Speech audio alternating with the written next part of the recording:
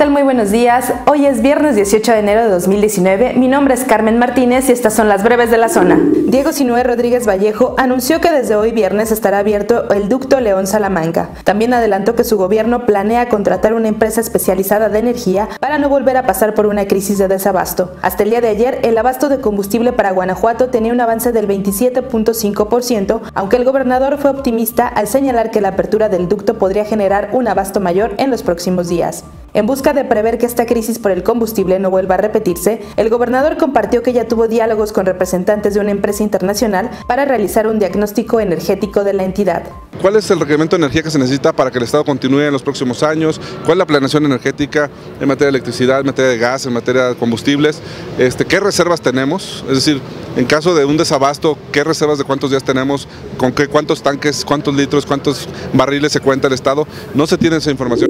Algunos familiares de las 11 personas que desafortunadamente perdieron la vida en la volcadura del camión urbano Ruta 84 no han recibido la prometida indemnización que anunciaron autoridades municipales y concesionarios del transporte público, mientras que algunos de los sobrevivientes al trágico accidente ocurrido en el bulevar Calcopirita, en la zona de Convive y Las Joyas, se encuentran recuperándose con cuidados intensivos que han sido un gasto extra para sus familias. A 20 días de aquel sábado 29 de diciembre, Zona Franca pudo constatar que todavía hay deudos y sobrevivientes en espera de negociar con las autoridades municipales y los concesionarios el pago de las indemnizaciones. La información completa la tienes en nuestro portal.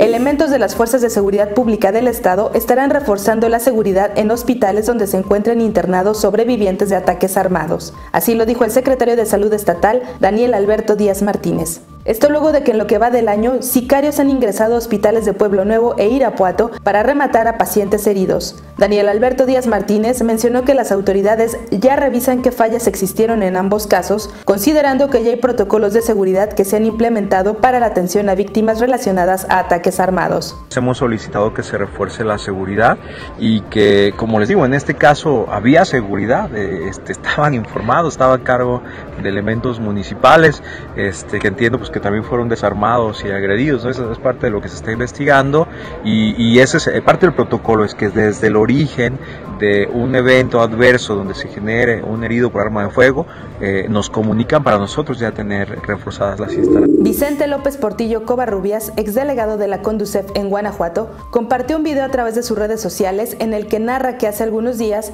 fue encañonado por delincuentes que lo interceptaron mientras circulaba por la carretera Salamanca-León. López Portillo Covarrubias explicó que regresaba de la ciudad de Guadalajara acompañado por su familia y que a escasos 6 kilómetros de llegar a León sintieron un impacto en la parte baja de la camioneta en la que se trasladaban. De una manera muy violenta, amenazante, eh, abren, intentan sacar de la camioneta a mi esposa.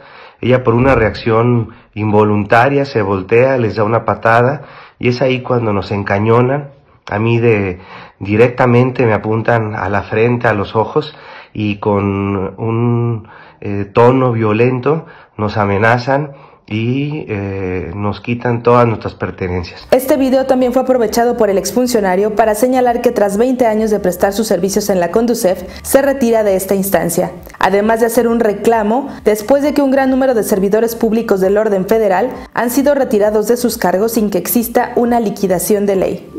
Estas fueron las breves de la zona. Yo te invito a que te quedes al pendiente de nuestra información a través de las redes sociales y que a partir de las 7 de la noche no te pierdas nuestro siguiente bloque informativo conducido por Vania Jaramillo.